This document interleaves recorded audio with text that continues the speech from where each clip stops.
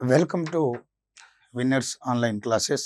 మిచురారా especially మనకు మధ్యయుగ భారతదేశ చరిత్రలో అంటే మనకు ఎస్పెషల్లీ మన భారతదేశ చరిత్ర అనేటటువంటి తీసుకుంటే ఇప్పుడు ఈ కాంపిటేటివ్ పర్పస్లో ఎస్పెషల్లీ యాన్సెంట్ ఇండియన్ హిస్టరీ తర్వాత మనకు గత కానిస్టేబుల్ కానీ ఎస్ఐలో అలాగే అదర్ కాంపిటేటివ్ ఎగ్జామినేషన్స్ ఏదైతే ఉంటాయో అందులో కూడా ఒక ప్రధానమైనటువంటి పాత్ర పోషించింది ఈ మిడివల్ ఇండియన్ హిస్టరీ. అంటే ancient Indian history and modern Indian హిస్టరీతో పాటుగా మిడివల్ ఇండియన్ హిస్టరీ కూడా చాలా చాలా ప్రధానమైనటువంటి పాత్ర ఉందని మీరు గమనించాలి. సో అటువంటి దాంట్లో ఈ మధ్యయుగ భారతదేశ చరిత్రలో ఎస్పెషల్లీ దక్షిణ భారతదేశంలో పల్లవుల తర్వాత ఒక పల్లవుల తర్వాత అదే స్థాయిలో అదే తరహాలో అదే రీతిలో ఒక అత్యున్నతమైనటువంటి స్థానాన్ని ఈ యొక్క ఆక్రమించినటువంటి రాజవంశంగా మనము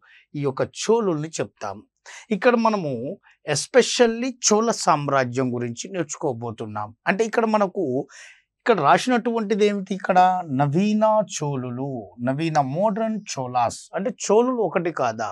సో చోళులు ఒకటే. సో మనకు ఆల్రెడీ సంగం యుగంలో మనం గత వీడియోస్లో ప్రీవియస్ వీడియోస్లో చూసినట్లయితే చోళ సామ్రాజ్యంలో సంగం యుగానికి సంబంధించిన ఈ యొక్క టాపిక్ ఏదైతే ఉందో అందులో మనము ప్రాచీన చోళులకు సంబంధించిన సమాచారాన్ని మనం చదువుకున్నాం ఆల్రెడీ. సో ఆల్రెడీ మనం దాన్ని డిస్కస్ చేసుకున్నాం. సో సంగం యుగం అంటే క్రీస్తు పూర్వం రెండో శతాబ్దం నుంచి క్రీస్తు శకం మూడో శతాబ్దం వరకు ఎస్పెషల్లీ దక్షిణ భారతదేశంలో పరిపాలించబడినటువంటి అంటే ఎస్పెషల్లీ మూడు తమిళ రాజ్యాలుగా ప్రాచీన తమిళ రాజ్యాలుగా పేరుగాంచిన వాటిల్లో చోళ చేర పాండ్య ఈ మూడిట్లో మనము ఈ యొక్క చోళులకు సంబంధించినటువంటి ప్రస్తావనను మనం ఆల్రెడీ అక్కడ డిస్కస్ చేసుకున్నాం. వాళ్ళు ప్రాచీన చోళులు. సో అదే ప్రాచీన చోళ వంశానికి చెందినటువంటి ఆ తరానికి ఆ వంశానికి సంబంధించినటువంటి వారిలో ఒకరు విజయాలయుడు.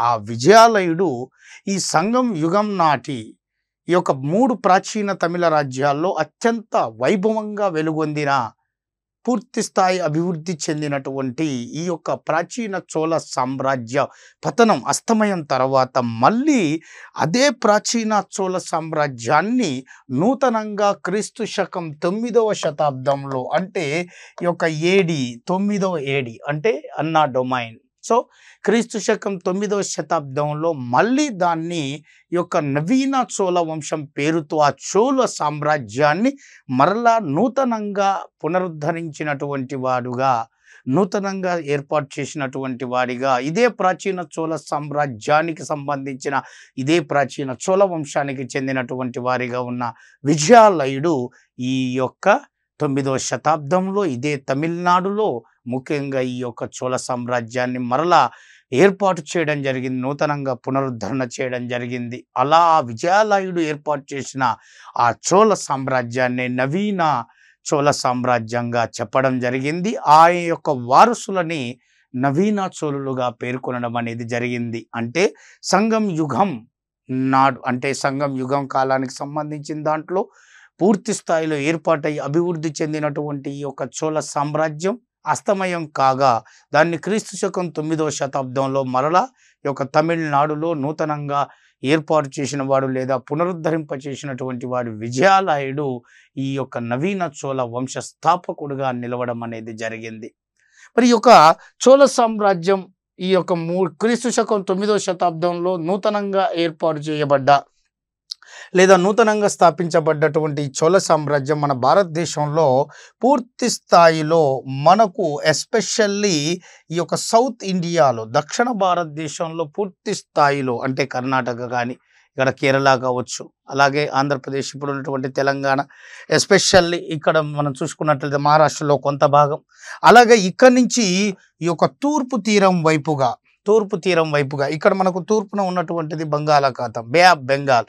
సో ఇక్కడ తూర్పు తీరం వైపున కూడా వారు ముఖ్యంగా తమ యొక్క సామ్రాజ్యాన్ని విస్తరించుకుంటూ నెమ్మదిగా తమ యొక్క సామ్రాజ్యాన్ని నార్త్ ఇండియా వైపు వారు విస్తరించుకుంటూ పోవడం జరిగింది. ఉత్తర భారతదేశం అంటే దక్షిణ భారతదేశంలో మొట్టమొదట పూర్తి స్థాయిలో తమ సామ్రాజ్యాన్ని ఏర్పాటు చేసుకొని సుస్థిరపరచుకున్నాక తమ యొక్క సామ్రాజ్య విస్తరణను తూర్పు భారతదేశం తూర్పు భారతదేశం నుండి ఎస్పెషల్లీ ఉత్తర భారతదేశం వైపు అంటే నార్త్ ఇండియా వైపుకు వారు పూర్తి స్థాయిలో తమ సామ్రాజ్యాన్ని విస్తరించుకొని సువిశాలమైనటువంటి తమ యొక్క సామ్రాజ్యాన్ని ఏర్పాటు చేసి అద్భుతమైనటువంటి పరిపాలనను మధ్యయుగ భారతదేశ చరిత్రలో ఒక సుస్థిర స్థానాన్ని ఏర్పాటు చేసుకొని పరిపాలించినటువంటి రాజవంశీయులుగా పేరుగాంచారు ఈ యొక్క నవీన చోళులు. ఎస్పెషల్ ఇక్కడ గంగా నది పరివాహక తీర ప్రాంతం వరకు కూడా వారు పూర్తి స్థాయిలో తమ యొక్క సామ్రాజ్యాన్ని విస్తరించుకుంటూ పోయి మధ్యయుగ భారతదేశ చరిత్రలో ఎస్పెషల్లీ మన దక్షిణ భారతదేశంలో సువిశాలమైనటువంటి తమ సామ్రాజ్యాన్ని ఏర్పాటు చేసుకొని దాన్ని సుస్థిరపరుచుకున్నటువంటి వారిగా పేరుగాంచారు.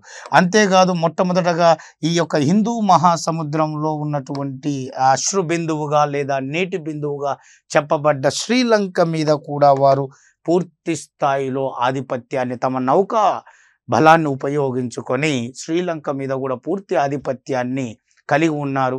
ఆ శ్రీలంకను తమ చోళ సామ్రాజ్యంలో కలుపుకోవడం కూడా జరిగింది. అంత విశిష్టతమైనటువంటి ఈ యొక్క సామ్రాజ్య విస్తరణను కావించి ఈ యొక్క దక్షిణ భారతదేశ చరిత్రలోనే కాదు భారతదేశ చరిత్రలోనే ఒక సువిశాలమైనటువంటి సమగ్ర చరిత్ర అధ్యయనానికి ఒక నూతన నూతనంగా ఒక నాంది పలికిన నూతన శకానికి నాంది పలికినటువంటి వారిగా పేరుగాంచారు. అంతేకాదు భారతదేశ ఓన్లీ దక్షిణ భారతదేశ చరిత్రే కాదు ఓవరాల్ భారతదేశ చరిత్రలోనే మొట్టమొదటిసారిగా అడ్మినిస్ట్రేషన్ సిస్టంలో లోకల్ సెల్ఫ్ గవర్నమెంట్ అంటే స్థానిక స్వపరిపాలన విధానాన్ని మొట్టమొదటిసారిగా అంటే గ్రామ పరిపాలనను పూర్తి స్థాయిలో ప్రవేశపెట్టినటువంటి వారిగా గ్రామ పరిపాలనకు ఆద్యులుగా లేదా ఆరంభకులు ప్రారంభకులుగా పేరుగాంచారు ఈ యొక్క చోళులు. చోళులు చూడగానే ఫస్ట్ మీకు గుర్తు రావాల్సినవి ఇవన్నీ పక్కకు పెడితే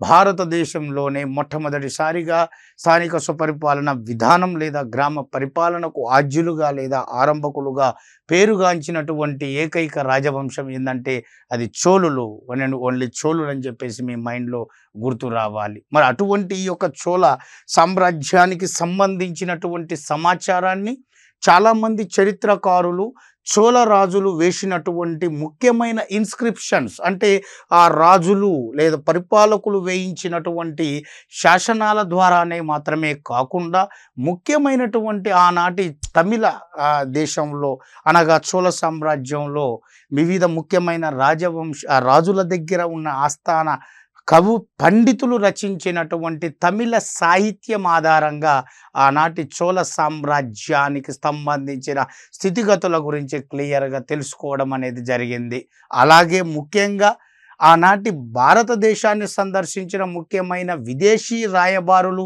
విదేశీ భాషల్లో రచించినటువంటి ఆ విదేశీ గ్రంథాల ఆధారంగా కూడా ఆనాటి ఈ యొక్క చోళ సామ్రాజ్యానికి సంబంధించినటువంటి సమాచారాన్ని చరిత్రకారులు క్షుణ్ణంగా తెలుసుకొని మనకు వివరించడం అనేది జరిగింది. మరి అందులో భాగంగానే మనకు చైనా దేశానికి చెందినటువంటి విదేశీ రాయబారి అయినటువంటి అంటే పాయ్యాను హిచ్చింగ్తో పాటు ఈ యొక్క చైనా రాయబారిగా ప్రసిద్ధిగాంచినటువంటి వారు యుయాన్ చాంగ్ సో ఈ యొక్క యుయాన్ చాంగ్ రచించినటువంటి యుయాన్ చాంగ్ రచించినటువంటి చైనీస్ భాషలో రచించినటువంటి ఈ యొక్క సియుకి సియుకి అనేటటువంటి గ్రంథంలో చైనా దేశానికి చెందినటువంటి రాయబారిగా ప్రసిద్ధిగాంచిన యుయాన్చాంగ్ రచించినటువంటి సియుకి గ్రంథంలో ఈ యొక్క తాను ఈ యొక్క దక్షిణ భారతదేశంలో ఒక విశిష్టతను సంపాదించుకున్న చోళ సామ్రాజ్యాన్ని ఆయన ఈ పేరుతో ఈయన ఇక్కడ అభివర్ణించడం పేర్కొనడం అనేది జరిగింది. తన యొక్క గ్రంథమైన సియుకిలో ఆయన చోళ సామ్రాజ్యాన్ని మధ్యయుగ భారతదేశ చరిత్రలో ఎస్పెషల్లీ దక్షిణ భారతదేశంలో ఒక విశిష్టతను సంపాదించుకున్నటువంటి ఈ చోళ సామ్రాజ్యాన్ని చైనా దేశానికి చెందిన రాయబారి అయినటువంటి యుయాన్ చాంగ్ ఏ పేరుతో చోళ సామ్రాజ్యాన్ని ఇందులో పేర్కొన్నాడు ప్రస్తావించాడు ఏ విధంగా ప్రస్తావించాడు తన గ్రంథంలో అంటే చూ లీ చూ అనేటటువంటి పేరుతో ప్రస్తావించడం అనేది జరిగింది. అలాగే మీకు పల్లవులు చెప్పేటప్పుడు ఒక విషయం చెప్పాను. ఏమని?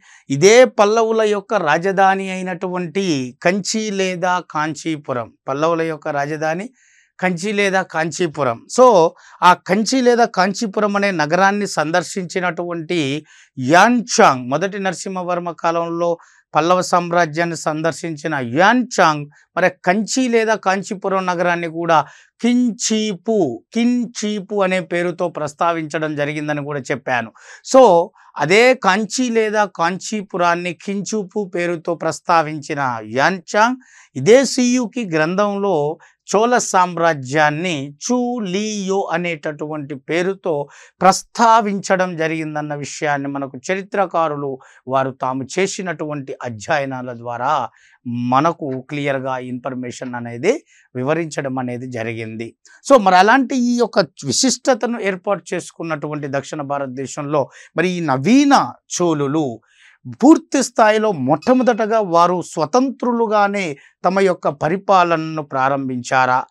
లేదా వారు ఈ యొక్క ఫ్యూడటరీస్గా ఫ్యూడటరీస్గా ఉంటూ పూర్తి స్థాయిలో సబార్డినేటర్గా ఎవరికైనా సామంతులుగా ఉంటూ వారు తమ పరిపాలన కొనసాగించారా?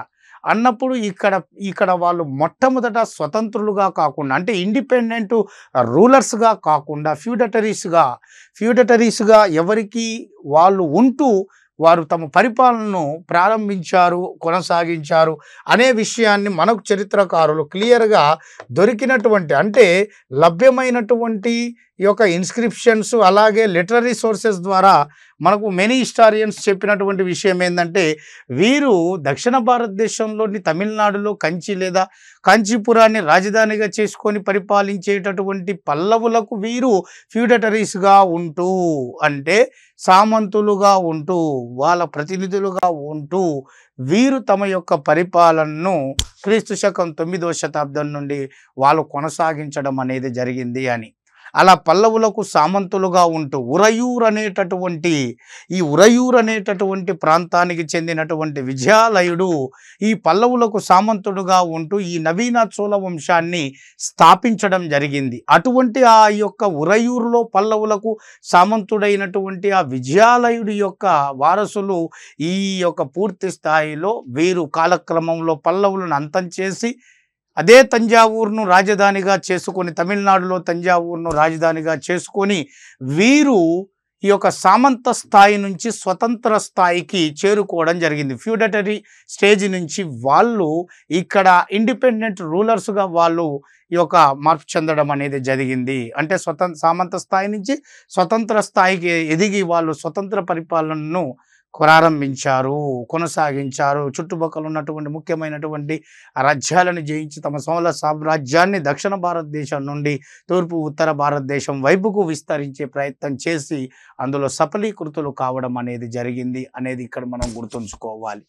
మరి ఇందులో ప్రధానంగా వీళ్ళ యొక్క చోళ సామ్రాజ్యానికి సంబంధించిన సమాచారంలో భాగంగా తొమ్మిదవ శతాబ్దంలో నవీన చోళులుగా పూర్తి స్థాయిలో వీరు తమ సామ్రాజ్యాన్ని స్థాపించుకున్న తర్వాత వీరు ముఖ్యంగా కాలక్రమంలో తంజావూరును తమ తమిళనాడులోని తంజావూరును తమ యొక్క రాజధానిగా చేసుకొని తమ పరిపాలన కొనసాగించారు. అలాగే తంజావూరుతో పాటు వీళ్ళ రెండవ రాజధానిగా అన్నప్పుడు గంగైకొండ చోళపురం అనేది గుర్తుపెట్టుకోవాలి. గంగైకొండ కావేరి నది పరివాహక ప్రాంతంలో ఇక్కడ వీరు గంగైకొండ చోళపురం అనే కొత్త పట్టణాన్ని ఏర్పాటు చేసుకొని దాన్ని చోళులకు రెండవ రాజధానిగా చేసుకున్నారు. కాబట్టి చోళుల నవీన చోళుల యొక్క క్యాపిటల్ సిటీస్ ఏంటంటే రెండు అని చెప్పాలి. ఫస్ట్ది తంజావూరు తర్వాత దాన్ని మొదటి రాజేంద్రుడు ఈ యొక్క కావేరి నదికి సమీపాన ఈ గంగై కొండ చోళపురం అనే పట్టణాన్ని నిర్మించి దాన్ని తన రెండవ రాజధానిగా చేసుకోవడం అనేది జరిగింది. ఇక్కడ ఈ పాయింట్ కూడా గుర్తుంచుకోవాలి. మరి చోళుల కాలంలో ఎస్పెషల్లీ ఇంకా గుర్తుంచుకోవాల్సిన దాంట్లో మనం వీళ్ళ లే- మన వీళ్ళకి సంబంధించిన చరిత్రను తెలుసుకోబోయే ముందు వీళ్ళ యొక్క రాజచిహ్నం గుర్తు ఏమిటి అని. చాలాసార్లు మన క్లియర్గా అడిగాడు. అందులో ఇక్కడ గుర్తుంచుకోండి. ప్రాచీన చోళులది రాజచిహ్నం లేదా రాజ్య గుర్తు పులి. అలాగే ఎట్ ద సేమ్ టైం నవీన చోళులు కూడా రాజచిహ్నం లేదా రాజ లాంఛనం గుర్తు అని అన్నా కూడా కూడా ఇక్కడ మీరు క్లియర్గా పులి అని గుర్తు పెట్టుకోవాలి అలాగే ఎస్పెషల్లీ వీళ్ళ రాజధాని తంజావూరు గంగైకొండ చోళపురం వీళ్ళు ఎవరికి ఫ్యూడటరీస్గా ఫ్యూడటరీస్గా ఉన్నారు అంటే వీళ్ళు పల్లవులకు ఫ్యూడటరీస్గా ఉన్నారు అంటే సామంతులుగా ఉన్నారు సబార్డినేటర్గా ఉంటూ కాలక్రమంలో సామంత స్థాయి నుంచి స్వతంత్ర స్థాయికి చేరుకొని వీరు సువిశాలమైనటువంటి స్వతంత్ర సామ్రాజ్యాన్ని స్థాపించుకొని సుస్థిరమైన పరిపాలనను వీళ్ళు కొనసాగించడం జరిగింది ప్రజలకు అందించడం జరిగింది. మరి అటువంటి నవీన చోళులకు సంబంధించిన సమాచారాన్ని మనం ఎలా గుర్తుంచుకోవాలి? మనం ఎలా గుర్తుంచుకోవాలి? అలా ఎన్ని ఏ విధమైనటువంటి అంశాలు ఇందులో ప్రధానంగా ఒక చోళ సామ్రాజ్యం చదవాలంటే ఒకటి ఒక సీక్వెన్సీ అంటే ఒక చోళ కాదు ఏదైనా ఒక రాజవంశాన్ని మనం క్షుణ్ణంగా అధ్యయనం చేయాలంటే ఫస్ట్ ఆ రాజవంశానికి సంబంధించిన ఏదైతే ఆ టాపిక్ ఇచ్చాడో ఆ టాపిక్లో మెయిన్ ముఖ్యమైనటువంటి కాంపోనెంట్స్ ఒక ఇండెక్స్ లాగా మనకు ఒక పేపర్ ఉంటుంది. ఒక పేపర్ మనము ఒక బుక్ చదివేటప్పుడు ఆ బుక్లో ఫస్ట్ మనకు మొదట ఇండెక్స్ అని చెప్పేసి విషయ సూచిక అని చెప్పేసి ఇస్తాడు. అందులో ఏ పేజీ నెంబర్లో ఏ పేజీ నెంబర్ నుండి ఏ పేజీ నెంబర్ వరకు ఏ టాపిక్ ఉంది? ఇందులో ప్రాచీన భారతదేశ చరిత్ర అంటే సో ఇక్కడ నుంచి ఇక్కడ వరకు. Indus valley to Harshavardhana so ఇది యానిసెంట్ ఇండియన్ హిస్టరీ అని మనకు ఒక మనకు ఒక ఆలోచన వస్తుంది. అవునా? తర్వాత medieval Indian history. Rajput age ఆ రాజ్పుత్ పీరియడ్ నుంచి మనకు మరాఠా ఎంపైర్ మరాఠా సామ్రాజ్యం వరకు.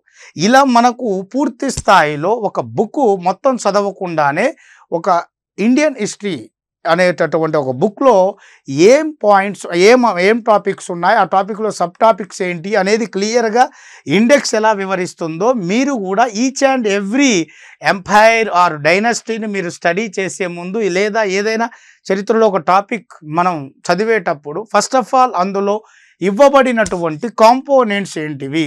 సబ్ టాపిక్స్ కాంపోనెంట్స్ ముఖ్యమైనటువంటివి వాటిని ఫస్ట్ మనము గుర్తించగలగాలి. అవి మనం గుర్తుంచుకుంటే ఆటోమేటిక్గా మనకు ఈజీగా మనం బై హ్యాడ్ బట్టి అనేటటువంటి పద్ధతిలో కాకుండా మనకు ఆ యొక్క టాపిక్ మీరు చదివేటటువంటి ఏదైతే ఆ టాపిక్ ఉంటుందో ఆ టాపిక్ మీద మీకు క్లియర్గా అంటే కన్ఫ్యూజన్ అనేది లేకుండా ఫుల్ క్లారిఫికేషన్ అనేది వస్తుంది. పాయింట్స్ కూడా మీకు గుర్తుంటాయి అన్నట్టు అదే ఇప్పుడు మనం చూడబోతున్నాం. సో నవీన చోళులు మనం డిస్కస్ చేసుకోబోయే ముందు ఫస్ట్ ఆఫ్ అందులో ఏం టాపిక్స్ ఉన్నాయి? ఫస్ట్ అనగానే చోళులు అనగానే మనకు గుర్తొచ్చేటటువంటి ముఖ్యమైనటువంటి అంశాలు ఏమిటి అన్నప్పుడు ఫస్ట్ వన్ ఈ యొక్క రాజకీయ చరిత్ర.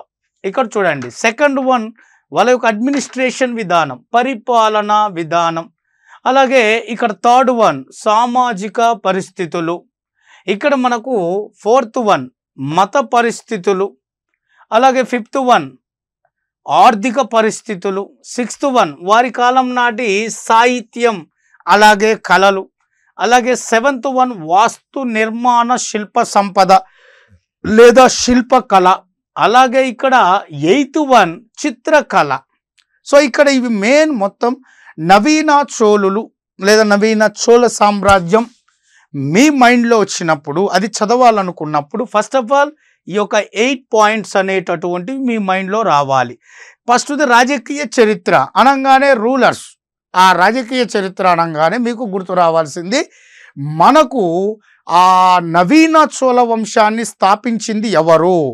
అక్కడ నుంచి మొదలుకొని మనకు చివరి పరిపాలకుడు వరకు మీ మైండ్లో ఉండాలి. ఫర్ ఎగ్జాంపుల్ విజయాలయుడు మనకు ఆదిత్య చోళుడు మొదటి పరాంతక చోళుడు అలాగే మనకు రెండవ పరాంతక చోళుడు ఆయన కుమారుడు రెండవ రాజాదిత్యుడు మొద సారీ మొదటి రాజాదిత్యుడు అలాగే మనకు గండరాదిత్యుడు. గండరాదిత్యుడు తర్వాత అరింజయ్య సుందర చోళుడు పరాకేసరి ఉత్తమ చోళుడు మొదటి రాజరాజు మొదటి రాజేంద్రుడు లేదా రాజేంద్ర చోళుడు మొదటి రాజాదిరాజు రెండవ రాజేంద్రుడు వీరరాజేంద్రుడు అది రాజేంద్రుడు. ఇంతవరకు మనకు చోళ సామ్రాజ్యానికి చెందిన పాలకులు అంటే చోళుల్లో మొదటివాడు అన్నప్పుడు మీకు గుర్తు రావాల్సింది నవీన చోళ వంశస్థాపకుడు అన్నప్పుడు మీకు గుర్తు రావాల్సింది విజయాలయుడు. ఇప్పుడు నేను చెప్తున్న ఈ- ఇప్పుడు చెప్పినటువంటి ఈ సీక్వెన్సీలో నవీన చోళ వంశంలో చివరి వాడు లేదా చోళుల్లో చోళ వంశంలో చివరి పాలకుడు అంటే అది రాజేంద్రుడు అనాలి. అక్కడ అంతవరకు స్టాప్ చేసిన తర్వాత మళ్ళా ఈ యొక్క మొదటి కులోత్తుంగ చోళుడు రెండవ రాజరాజు మూడవ కులోత్తుంగ చోళుడు మూడవ రాజేంద్రుడు.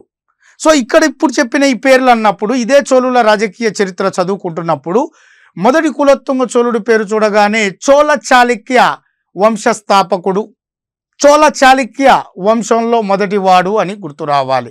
చోళులు చదువుకున్నప్పుడు ఈ చాళుక్యులు ఎందుకు వచ్చారు సార్ అంటే ఈ యొక్క అధిరాజేంద్రుడు చోళుల్లో చివరివాడు ఆయనకు వారసులు లేకపోవడం చేత ఈ యొక్క వీరరాజేంద్రుడు కూతురైన మధురాంతకును వివాహం చేసుకోవడం వలన ఈ యొక్క తూర్పు చాళుక్య రాజైన రాజరాజ నరేంద్రుడు అలాగే రాజేంద్ర చోళుడి యొక్క కూతురైన అమ్మంగాదేవిలకు జన్మించిన రాజేంద్రుడిని ఈ యొక్క చోళ వంశానికి రా రా- మన వా- రాజుగా ప్రకటిస్తారు. అప్పుడు ఆయన చాళుక్య రాజుగా ఉంటాడు తూర్పు చాళుక్య రాజుగా ఉంటాడు. రాజేంద్రుడు అనే పేరుతో పిలువబడ్డ అతను ఈ యొక్క వేంగి చాళుక్య రాజ్యాన్ని ఈ యొక్క చోళ సామ్రాజ్యంలో కలిపేసి చోళ చాళుక్య వంశా పేరుతో ఆయన నూతనంగా సింహాసనాన్ని అధిష్ఠించడం జరిగింది. అలా ఈ యొక్క చోళ చాళుక్య అనేటటువంటి ఈ రెండు వంశాలను విడివిడిగా కాకుండా ఒకటిగా కలిపి చోళ చాళుక్య వంశం పేరుతో ఈ రాజేంద్రుడు అనేటటువంటి రాజరాజ నరేంద్రుడి యొక్క కుమారుడు ఈ యొక్క చోళ చాళుక్య వంశం పేరుతో ఆయన మొదటి కులోత్తంగ చోళుడు నామధేయంతో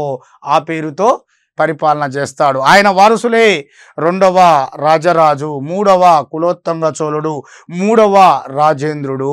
ఇప్పుడు చెప్పండి చోళుల్లో చివరివాడు అంటే అది రాజేంద్రుడు అనాలి చోళ చాళుక్యుల్లో మొదటి వాడంటే మొదటి కులోత్తుంగ చోళుడు అనాలి చోళ చాళుక్యుల్లో చివరి వాడంటే మూడవ రాజేంద్రుడు అని చెప్పాలి. నవీన చోళ వంశంలో మొదటి వాడు వంశస్థాపకుడు అంటే విజయాలయుడు అని చెప్పేసి అనాలి. ఇది మనకు రాజకీయ చరిత్ర political history of Cholas modern Cholas dynasty. So ఇందులో మనం డిస్కస్ చేస్తాం అవన్నీ కూడా. ఏ పాలకులు ఎవరు? నవీన చోళులు అలాగే చోళ చాళుక్య వంశానికి చెందిన పాలకులు. వాళ్ళ అడ్మినిస్ట్రేషన్ సిస్టమ్. ఇందులో మనం చోళ సామ్రాజ్యం వాళ్ళ యొక్క స్వరూపం పరిపాలన స్వరూపం ఏ విధంగా ఉన్నది? అలాగే సామ్రాజ్యాన్ని ఎన్ని భాగాలుగా విభజించారు? ఎస్పెషల్లీ ఆ భాగాల మీద అంటే పరిపాలన భాగాల మీద అధికారులు ఎవరు? వాళ్ళ పేర్లు ఏంటి దానికి సంబంధించింది వాళ్ళ స్థానిక స్వపరిపాలన విధానం లేదా గ్రామ పరిపాలన విధానం ఆ గ్రామ ఎన్నిక దానికి సంబంధించినటువంటి ఆ ఉత్తర మేరూరు శాసనం ఏ అంశాలు వివరించింది? ఇవన్నీ కూడా మనం ఇందులో చూస్తాం. అలాగే సామాజిక పరిస్థితులు. సామాజిక వ్యవస్థ చాతుర్వర్ణ వ్యవస్థ ఉందా లేదా? స్త్రీల పరిస్థితి ఏ విధంగా ఉంది? సమాజంలో ఈ ఎడంగై అలాగే వెడంగై అనే కులాల వారు ఎవరు? వారి పరిస్థితి ఏమిటి? సతీసాగమనం ఉందా?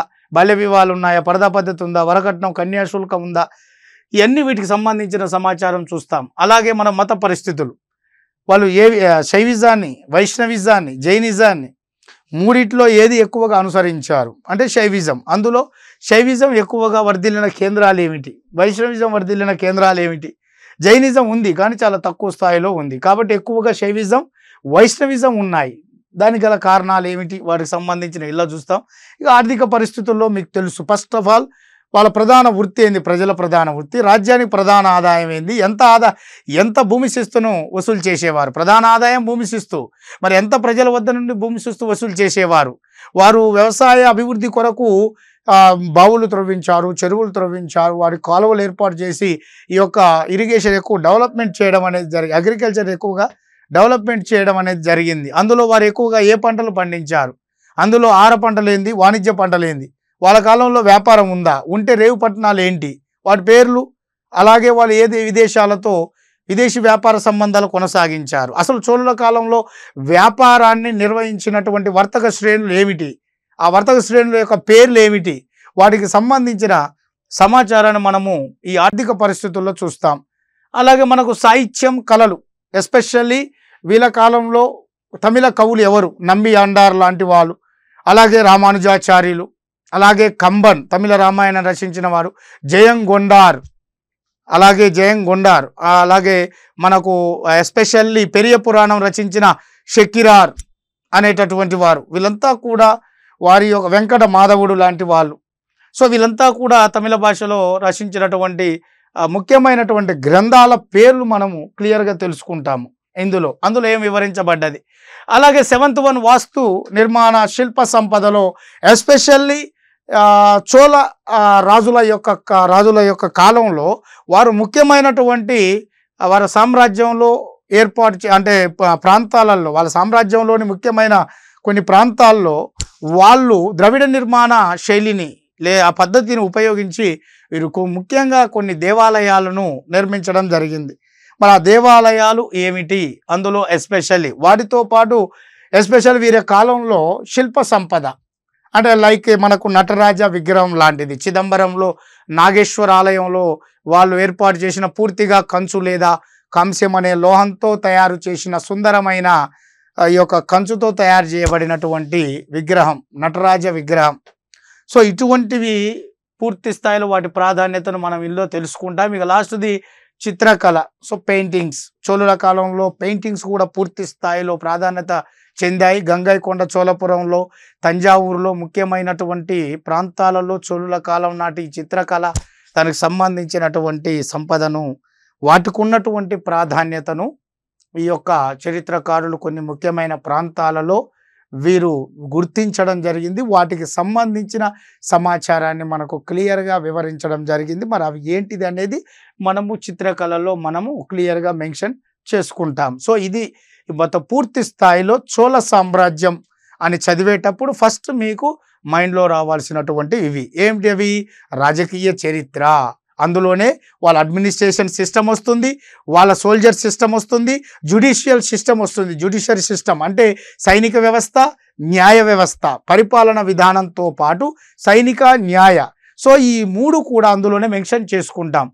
తర్వాత సామాజిక పరిస్థితులు సోషియాలజికల్ కండిషన్స్ అలాగే ఎకనామికల్ కండిషన్స్ అలాగే రిలీజియస్ కండిషన్స్ అలాగే ఎస్పెషల్లీ మనకు లిటర లిటరేచర్ సాహిత్యం అలాగే ఆర్ట్స్ కళలు అలాగే మనకు వాస్తు నిర్మాణ శిల్పకళ స్కల్ప్చర్ ఆఫ్ చోలాస్ పీరియడ్ అలాగే మనకు పెయింటింగ్ చిత్రకళ ఎస్పెషల్లీ ఇవి మెయిన్ మీ మైండ్లో రావాలి. ఫస్ట్ ఆఫ్ ఆల్ ఏ డైనాసిటీ అయినా చూసుకోండి ఏ టాపిక్ అయినా. అందులో main components sub topics components ఏంటి అవి?